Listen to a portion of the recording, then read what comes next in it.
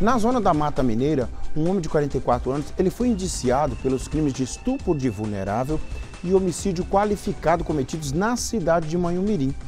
O corpo da vítima de 37, 37 anos né, foi encontrado no dia 3 de maio deste ano, conhecido como 2024, com a cabeça coberta por um saco de linho e uma blusa, além de diversos ferimentos e sangramento.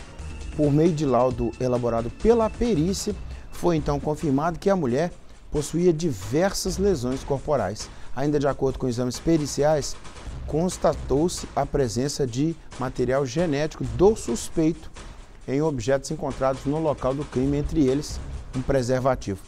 O homem já é investigado por latrocínio e estupro na cidade de Matipó, motivo pelo qual se encontra então no sistema prisional. Né? Já tem uma coisa, agora está sendo investigado por outra.